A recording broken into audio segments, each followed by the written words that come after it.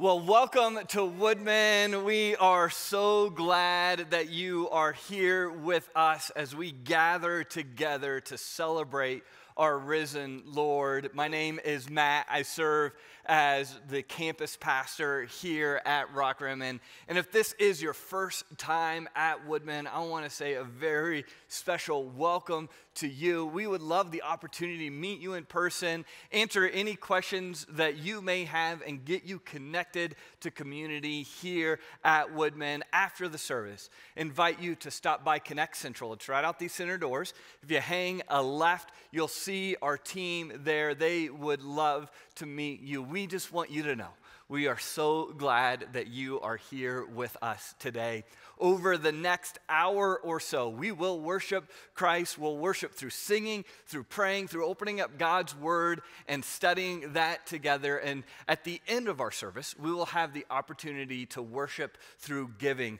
As you leave, we'll have ushers at the exit doors, and every dollar that comes in this weekend, whether you give in person or online, will go outside of our walls as we partner with local partners here in our city that come alongside those who need real, practical, tangible help, perhaps getting food or struggling with homelessness. We believe that the gifts offered this weekend will offer hope to those in our community. You'll find a QR code at the back of your pew or via the Woodmen app. You can open that and track along with the songs that we're singing, um, sermon notes from today, and other information about ways to get connected to a group, um, and would love for you to check that out. Well, if you would stand with me. And whether you're coming in heavy hearted or um, on the top of a mountain, let us proclaim together that Christ is risen and that changes everything. So let's sing together.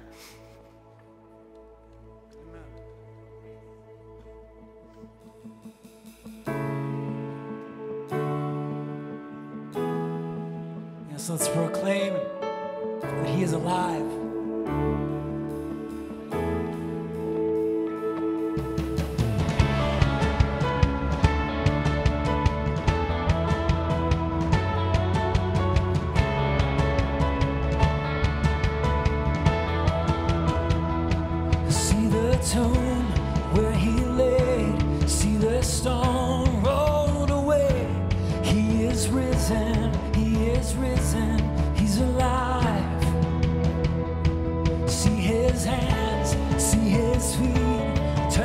Touch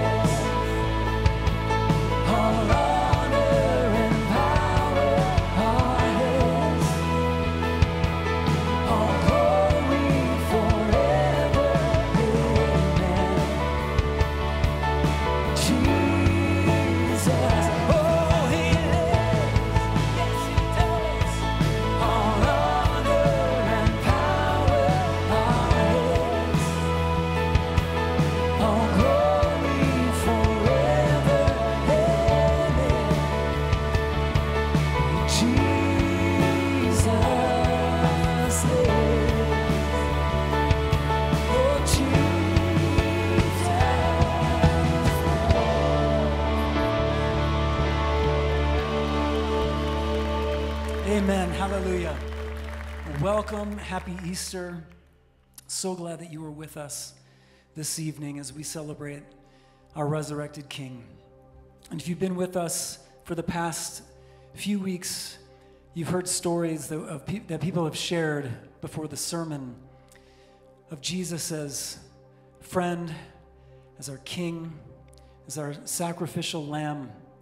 And now we celebrate him as resurrected Lord. He is the cornerstone, the one we build our lives upon, our firm foundation. You may be in a, in a tough spot. I know Matt is so sensitive to that, Pastor Matt, this, uh, before the service began here. And not everybody's coming in super joyous and joyful, even though we're celebrating something real and worth celebrating. I want to remind you that as we journey through the valleys and up to the mountaintops that He is our firm foundation. We can build everything upon Him. He is faithful, He is true, and He is our King. And we're going to continue to celebrate that now. So let's sing about our firm foundation.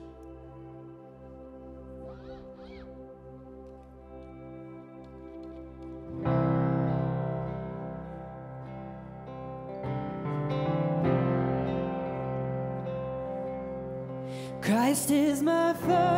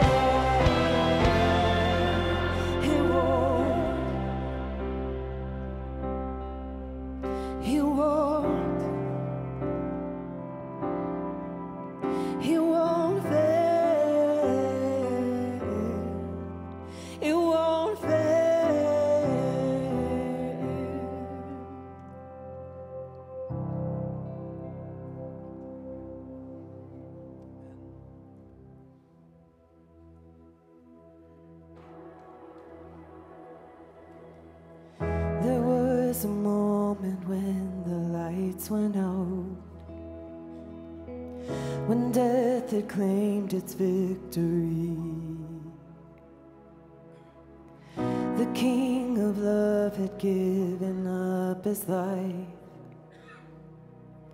The darkest day in history. There on a cross they made for sinners.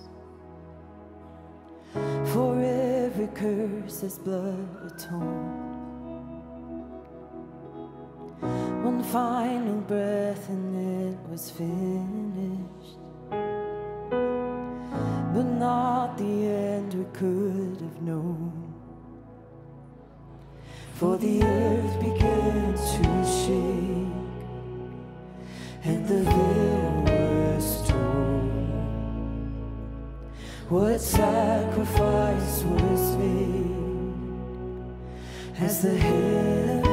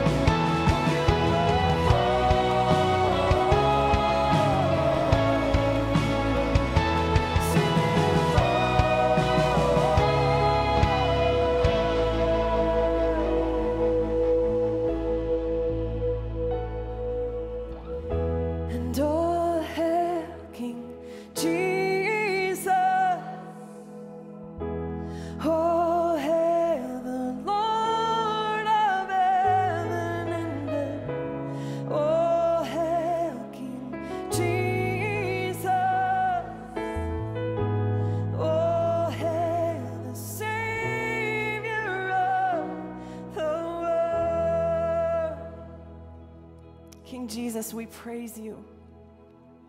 For there is no other king that would lay his life down to save those who are lost. There is no other king that would show love full of mercy and grace and compassion to sinners. But you, but you, King Jesus, went to that cross for us. You died in our place. And then you rose from the grave and defeated the power of death. Hallelujah. We worship you, we praise you as Lord. And all God's people on this Easter weekend said, Amen. You guys can take a seat. I think the most heartbreaking part of the Bible is, of course, Jesus being sacrificed and him being in the grave.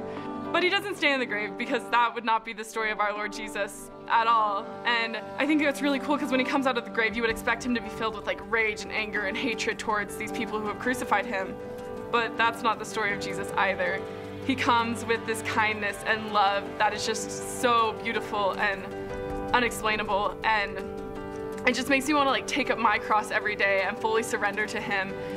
To me, the most powerful event in all of human history was the death, burial, and resurrection of Jesus Christ. Because of that and his redemptive work on the cross, I have, and we can now all have, eternal life, eternal life and salvation through the good Lord Almighty. Jesus rising from the dead brings us hope because he said he will return one day, and that really proves that he will return one day. Jesus died on this cross and rose again for me. Like, nothing could compare to that. Nothing that I can do can compare to that. His death on the cross for our sins and then the resurrection just gave validity and truth to all of the works that he had done and that he was Lord and that he was over us and it just gives a lot of peace and joy in my life. When my world feels out of control, I know that He is in control, that there's nothing outside of His knowledge or His power. Um, that I can come confidently before the throne because He is Lord.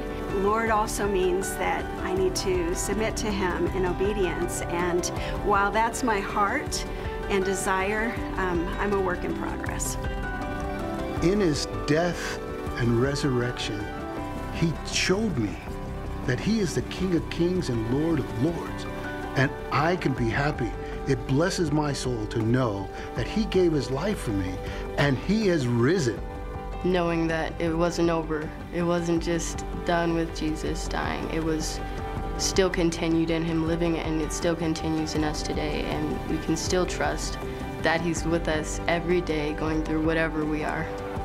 When I think of Jesus as Lord, I think of that song, Is He Worthy? And I think it because He is the only one who has conquered the grave. He is the only one without sin, and He is the only one who is worthy of all glory and blessing and honor.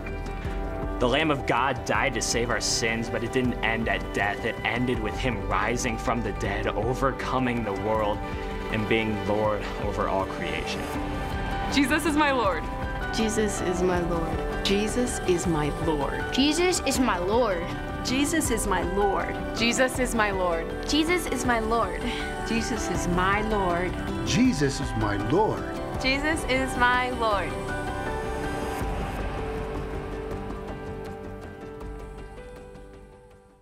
Well, he is risen. Amen. Yes, he is. Hello, and thank you for being with us. My name is Josh. If you are a visitor, I'm one of the pastors here, and we are excited to celebrate our risen Lord together. You know, you don't have to be very old before you realize that life can bring joy and sorrow. Now, hopefully, at the front end of life, it's the presence or absence of fishy crackers, but as you get older, that joy and that sorrow can, well, grow much deeper. And it often comes sort of unexpectedly so. I recently officiated the wedding of a couple who had bumped into each other. They first met in a line in their freshman year of college, then went their separate ways, never knowing that at that moment they were standing before who would be their future spouse. And now, husband and wife.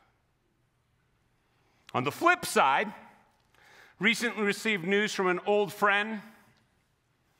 His wife, mother to three of his kids, just told that her body was riddled with cancer. Both these unforeseen, unexpected moments in time that changed everything. Now, for the first followers of Jesus, they experienced what would be their worst day ever and the best thing that they could never have imagined compressed into three days. They believed that Jesus was their coming Messiah, but they had their hopes dashed when he was crucified on a Friday and placed dead in a tomb. On that Friday night, no one among them anticipated the news that they would receive Sunday morning that Jesus Christ had risen from the grave. And that that changed everything. The Gospel of Luke is the third account of the earthly life of Jesus recorded in the New Testament. And, and Luke wrote it with some very clear objectives in mind, which he states right up front. In Luke chapter 1, verse 1, it says, Inasmuch as many have undertaken to compile a narrative of the things that have been accomplished among us, just as those who from the beginning were eyewitnesses and ministers of the word have delivered them to us. It seemed good to me also, having followed all things closely for some time past, to write an orderly account for you, most excellent Theophilus, that you may have certainty concerning the things that you have been taught. Luke wrote to a man named Theophilus so that he, and by extension we, could have certainty.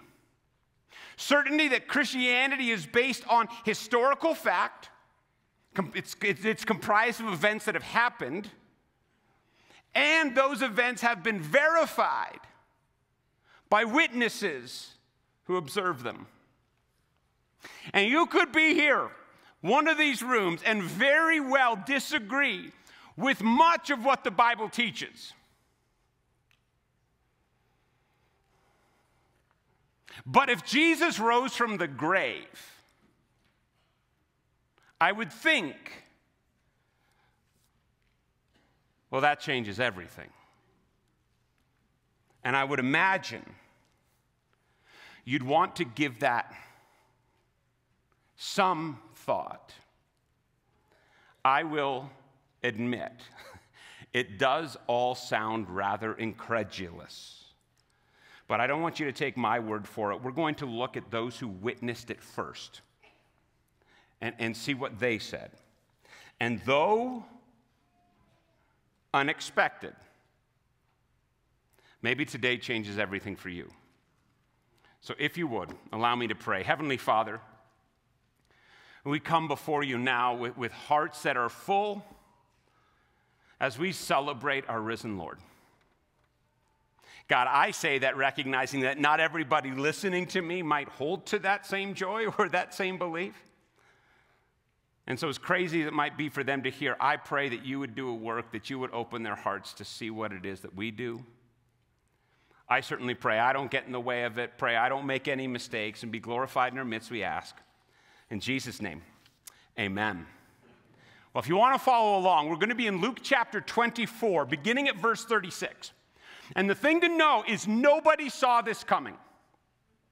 I mean, nobody saw this coming. It says this in verse 36 As they were talking about these things, Jesus himself stood among them and said to them, Peace to you. But they were startled and frightened and thought that they saw a spirit. Uh, that first Easter Sunday was quite a day. Women had gone to the tomb to anoint the body of Jesus only to find it empty. Then Jesus appears to this man named Peter. And then Jesus appears to these two guys on, on a little road trip to Emmaus. And, and then they drop their plans and they hustle back to Jerusalem to tell the disciples what it is they've seen. When it says as they were talking about these things, That, that is what was being discussed. Uh, they were talking about these, these appearances, having seen the resurrected Lord. A handful of people telling him it's true, and the rest of them thinking they're crazy town. That just doesn't, well, it just doesn't happen. When suddenly, Luke says, Jesus himself stood among them. Now, it is possible that Jesus did, you know, like ninja like and just kind of slipped in. But, but the text in Greek sort of just really gives the impression that he just appeared. Just in their midst, Jesus pops into the scene and says to them, Peace to you, which would have been somewhat expected and shocking at the same time. Because peace to you was, was a common greeting back then. You bump into a friend on the street, peace to you. Uh, uh, that's just what you said. Now, that being said, this room is filled with people who had abandoned Jesus at his hour of need. If I'm Jesus, I'm leading off with something a little stronger. But he does the essential hey, Hey guys, peace to you. Now, regardless of what Jesus started with, I'm not sure at the time they gave it much thought at all because it says they were terrified. They thought, they thought they were seeing a ghost. None of them expected Jesus to rise from the dead. They are freaked out, which is a curious response to record if they made the whole thing up. See, one of the angles skeptics like to take is that the resurrection of Jesus was actually just like the greatest cover up ever devised that the disciples had, in reality, stolen the body and, and then just kept telling people that he had risen from the dead. Which, if true, just makes them bad storytellers because every time they record anybody seeing the resurrected Lord,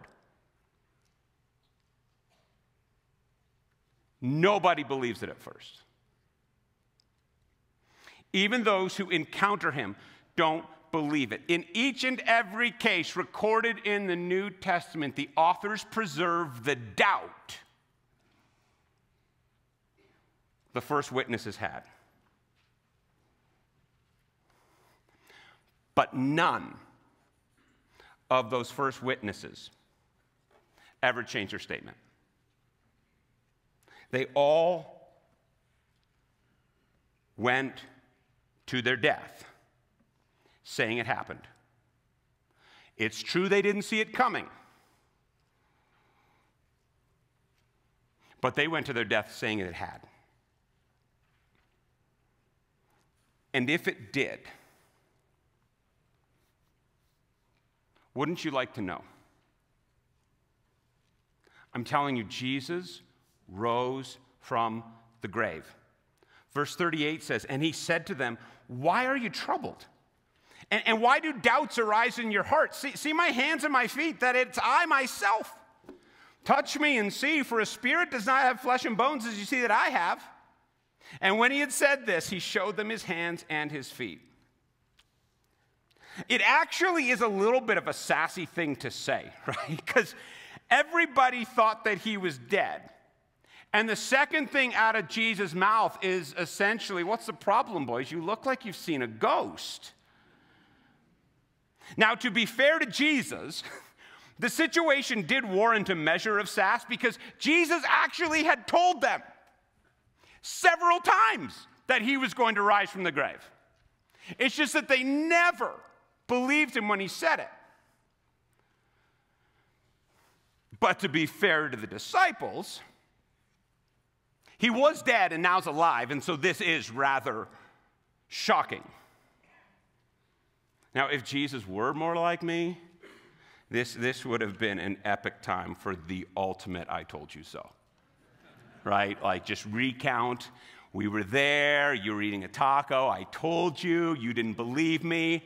Boom. But, but that's not how Jesus responds to them. Jesus doesn't chastise them at all for their lack of faith. But, but instead, he invites him to investigate.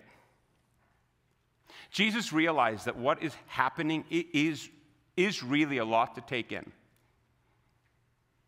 So Jesus takes it slow. He starts walking around to him and he's like, Look at my hand, look, look the nail. That's it's me. Pete, my foot. God, uh, uh, uh, flesh, bone. It's, it's me. It's not a ghost. It is I myself. That, eh, the, the Greek there is the strongest possible affirmation. He's like, it's me.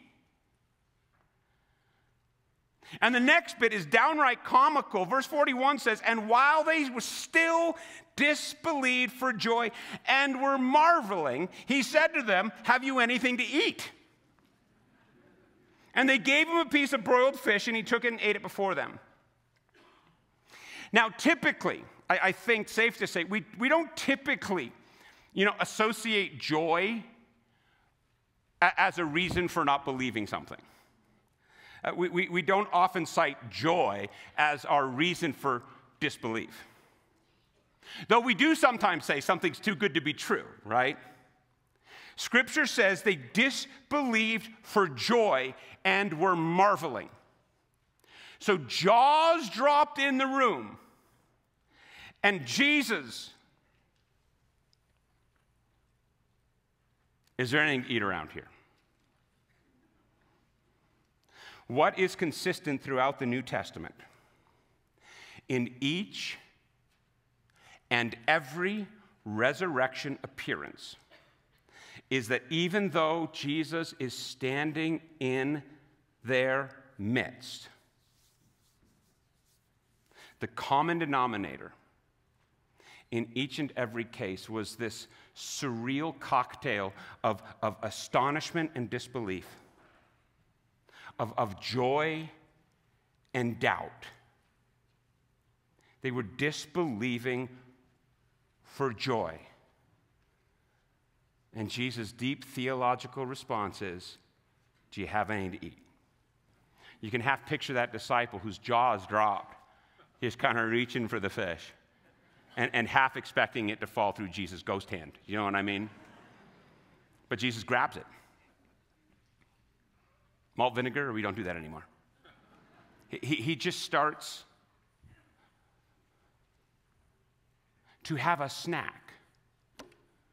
Now, I mean, it had been three days, so he's probably hungry somewhat, right? But he, he just dials down the temperature. It's I myself, guys. I'm right here. Now, you may, understandably, question the veracity of their claim. But in each and every resurrection appearance, Jesus, who had been dead, is presented as a real, living man in the flesh. Very much alive.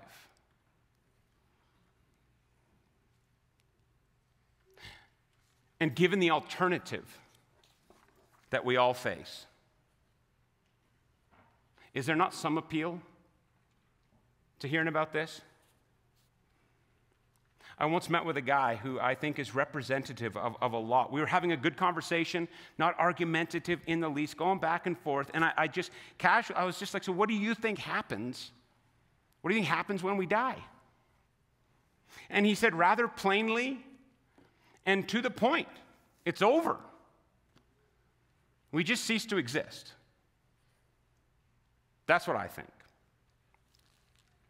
Which, if true, does make everything I'm saying pointless and makes the career I've chosen somewhat of a waste of time.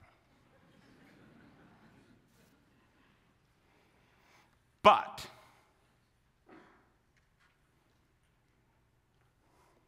It's really not all that problematic.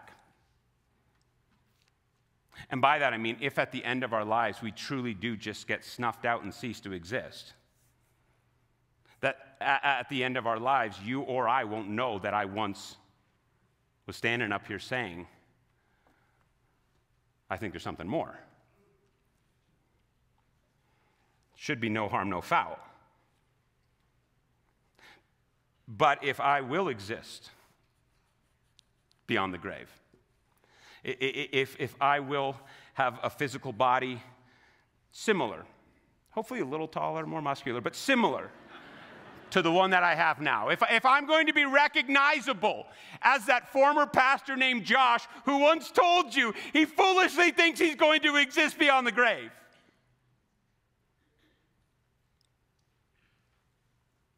Then that will be very problematic for you.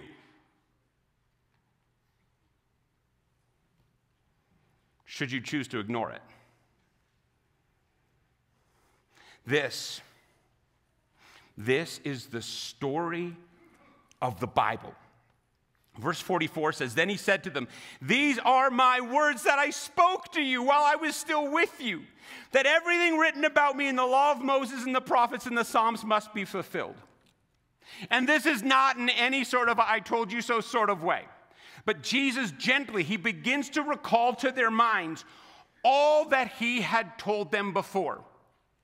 And when he references the law of Moses, the prophets, and the Psalms, he's referring to what we in the church today call the Old Testament, the, the first bit. He, he, he is saying that all, all of it, all of it was pointing to him. Jesus is like, remember what I taught you. It was all about me. And then in verse 45, we read, Then he opened their minds to understand the scriptures and said to them, Thus it is written that the Christ should suffer and on the third day rise from the dead, and that repentance for the forgiveness of sins should be proclaimed in his name to all nations, beginning from Jerusalem.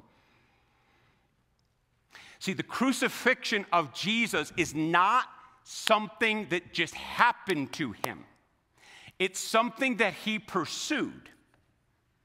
From the very get go of the book, the plan always was for the Son of God to give up his life and rise on the third day. Jesus came to the earth to conquer death. It's what we refer to as the gospel. And, and that translated is it's what we refer to as the good news. In our sin, we separated ourselves from the God who made us. We put a division between us. And, and you may be unfamiliar with the term sin or not a big fan of it. Okay, but you're very familiar with its effects. Sin brought death. God did not create us to die. God created us to live. And when we turned from Him and went after our own thing, thinking that we had found it, what we found was death. This entire book is, is the story of God's radical pursuit of those who abandoned him, and of his love so great that he would ask his son to die for the ones who left him. And on the third day, rise. The bottom line of the book is that each and every one of us must repent and, and the word there is, is simply to turn. It, it's to recognize that the sin, you don't like the, the naughty things, the stuff that our hearts pursue and like, that we say no longer and we turn and go the other way asking Him to forgive us for having ever left confessing Him as Lord, believing that God raised him from the dead, and in doing so, having a confidence that we one day will rise as well. And here's the thing which will sound jiggy, but I actually really believe it. You don't need to take my word for it. You, you could ask him yourself. Verse 45 said, Then he opened their minds to understand the scriptures. Then Jesus opened their minds, which is a profound thing to say because it points to like a twofold dynamic that is present in the Easter story. Even with Jesus in the flesh, standing in the room, even with Jesus eating fish and chips in the room. That was not in and of itself enough for them to believe. They still were disbelieving for joy. They had, they had to have him open their minds to his word. And only then did they connect all the dots and believe. I, I will go out on a limb and say, strong chance you have never seen the resurrected Lord in the flesh. But even if you had, that does not mean you would necessarily believe. You need Him to open your minds to His reason, to His purpose. And if you were to earnestly ask Jesus to do that, I really believe you will see him quite clearly. And it is, it is a choice that we each have. Verse 48 says, Jesus, Jesus this is, this is his conclusion. Jesus concludes his time with them that night by saying, You are witnesses of these things. And behold, I am sending the promise of my Father upon you, but stay in the city until you are clothed with power from on high. Those in the room that night were witnesses to two things the resurrected Christ and his reason for coming.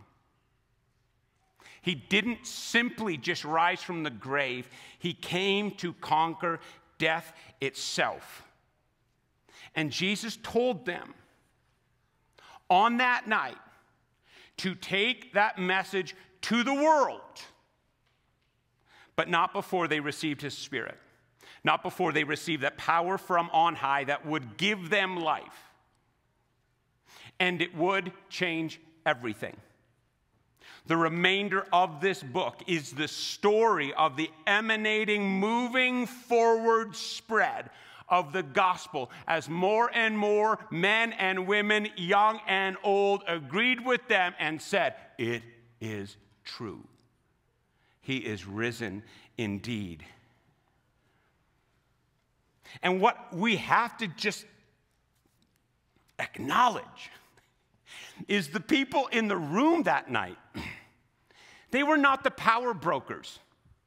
They were not the insta famous. They were not the influencers. They were not in political authority. They were the ones who had failed him. Jesus did not go to those who crucified him. Jesus did not appear to Pilate.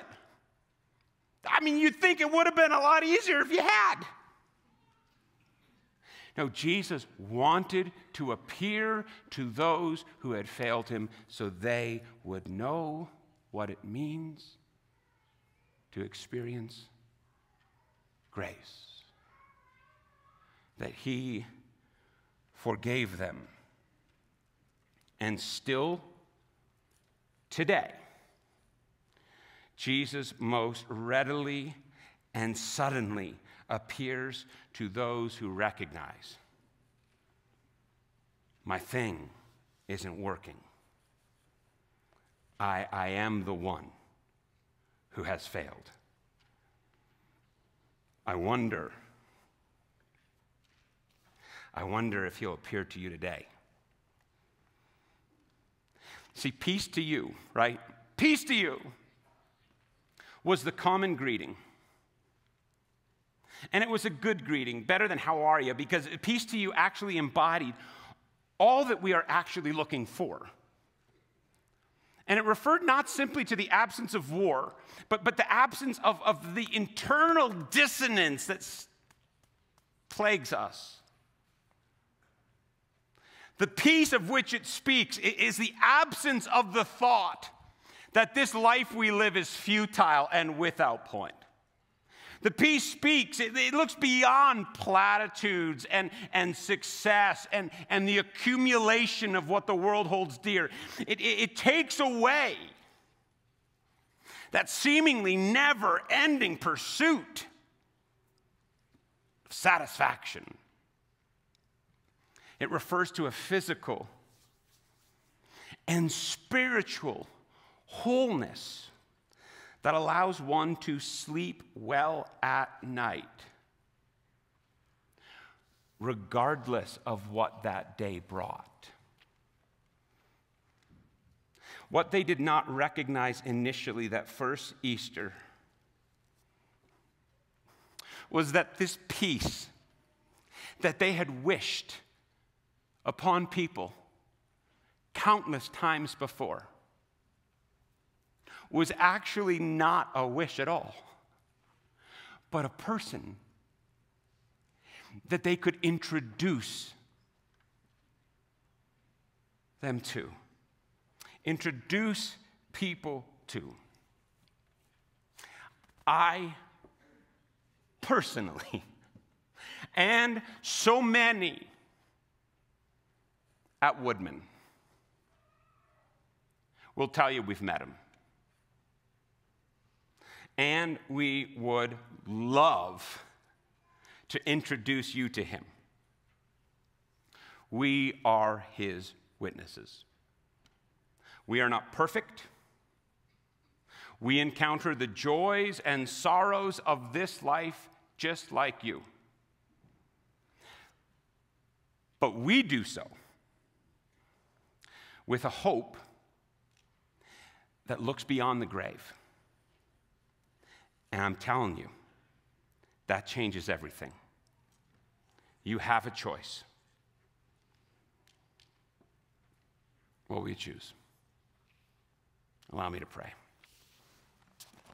Our Heavenly Father, I thank you for the glorious hope we have in Jesus Christ our Lord, the first to go from death to life God, I pray that as we sing your praises, as we lift high your name, as we exalt the name of Christ, would you make yourself known? Would you open people's hearts? Would they see what it is we've seen and know this one? Our risen Lord, of whom we speak. In his name, amen. If when you are up for it, why don't you stand with us as we sing?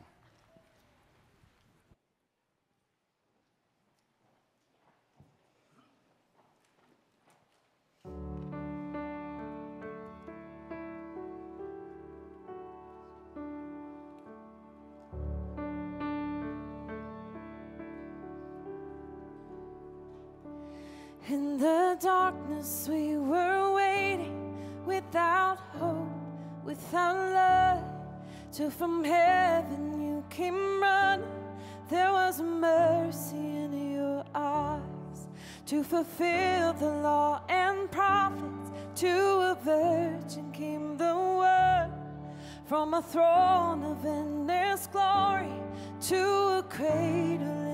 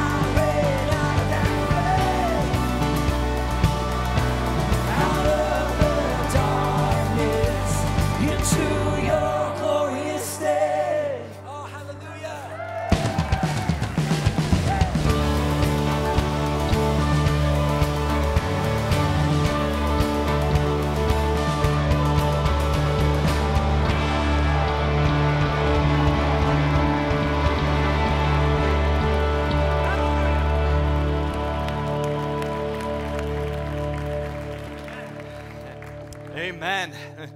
What a glorious truth that we remind ourselves and remind each other that hope, that peace is here and has come in the person and the work of Jesus Christ. And that is the truth that then changes us and then ultimately, ultimately grounds us as an anchor for our soul. And when the storms come, when circumstances are tough, we are safe, we are secure in His hands, and that is indeed glorious. If you have questions, if you want to get an introduction to that man, Jesus, if perhaps the circumstances of life are hard, are difficult, and you need to be reminded of that truth, come talk to us. We would love to pray with you. We would love to chat, chat with you. We'll be up front. We would love to see you back next weekend as we start a new series looking at uh, some various Psalms. Saturday at 6, Sunday at 9 and 11. We would love to see you. And as a reminder, if you so choose to give on the way out, you can do so with the ushers at the door. Know that we love you. Our Father in heaven sees you and he loves you, but go with these words. And now to him who is able to keep you from stumbling and to present you blameless before the presence of his glory with great joy. To the only God, our Savior, through Jesus Christ our Lord, be glory, majesty, dominion, and authority before all time, and now and forever. Amen. Amen. Go in his grace and go in his peace.